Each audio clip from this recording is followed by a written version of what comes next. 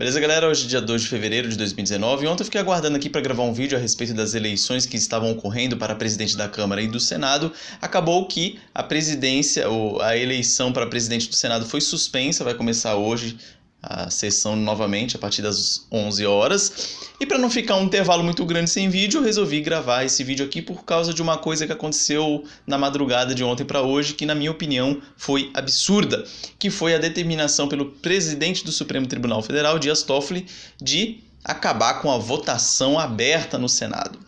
Eu concordo, eu, aliás, eu apoio a ideia de que a votação para presidente da Câmara e do Senado deveria sim ser aberta, porque eu quero saber se o candidato que eu votei vai lá votar no Renan Calheiros da vida ou não.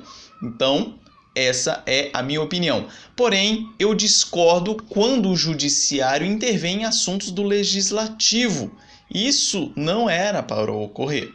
Vamos lá. Primeiro, a Constituição Federal ela diz o seguinte, que cabe ao Supremo Tribunal Federal a guarda da Constituição. Por que raios que o presidente do Supremo Tribunal Federal está analisando um dispositivo do regimento interno do Senado? Não tem nada a ver. Além disso, a Constituição também diz que, lá no seu artigo 2, são poderes da União independentes, vou repetir, independentes e harmônicos entre si, o legislativo, o executivo e o judiciário. Então esse negócio do judiciário ficar se intrometendo em assunto do executivo e legislativo tá errado. Tá errado. A democracia em si, ela pressupõe o equilíbrio dos poderes. Você tem muito poder sendo destinado a uma das instituições que é justamente o Supremo Tribunal Federal, que é aquela instituição que você não vota para ninguém estar tá lá. Ou seja, a vontade popular não está sendo atendida. Os 11 ministros que estão lá são indicados pelo presidente da República. Passa pela sabatina no Senado, que nunca vi ninguém sendo reprovado nessa sabatina do Senado, e aí vai lá e ocupa o cargo de ministro do Supremo. Então é muita força para uma instituição só. Então, a partir das 11 horas vamos, vamos ter outra sessão, vamos ver aí o que, que vai acontecer. Eu só espero que Renan Calheiros não vença isso aí, mas nada é impossível. E se ele vencer, lembre-se que a culpa é de quem votou nele, obviamente.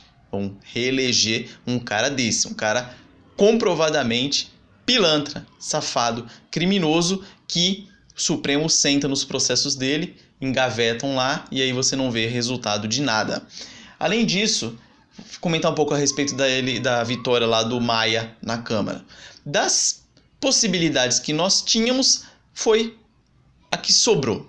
O, que tinha para hoje é o que aconteceu e beleza, e eu não estou tão triste com a reeleição dele não pelo seguinte, PSL apoiou ele, nós todo mundo deve estar sabendo, todo mundo apoiou ele, ganhou lá com uma grande vantagem de votos. É o que tinha para fazer, é o que tinha para garantir, era isso. O Marcel von Hatten lá, ele se candidatou. Eu gosto muito dele, do Partido Novo. Só que o que eu vejo é o seguinte: ele é a primeira legislatura dele no na Câmara. Então, falta de experiência conta, falta de traquejo talvez ali no meio ali, sei lá. Eu só sei que eu vejo ele com bons olhos para ser presidente da Câmara na próxima eleição daqui a dois anos. Eu acho que seria uma coisa boa. Porque agora o governo Bolsonaro ele tem que passar várias coisas impopulares que não tem, que tem que passar. Agora tem que passar. Então foi a opção que teve. Talvez não teria, talvez teríamos uma opção melhor caso todo mundo que votou no Bolsonaro votasse em deputados do PSL. Aí teríamos lá a maioria e aí poderia indicar um, um presidente da Câmara do próprio PSL, teria a maioria, não teria problema nenhum. Mas vivemos numa num presidencialismo de coalizão, não tem jeito. Tem que fazer isso que foi feito.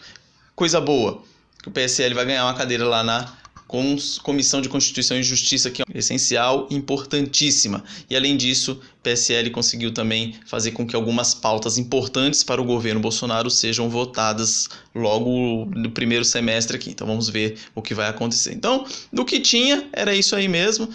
E vamos ver o que, que vai acontecer daqui para frente, beleza? Então vamos ficar aqui aguardando a presidência do Senado, as eleições para o presidente Oh, caramba, tô todo embananando aqui.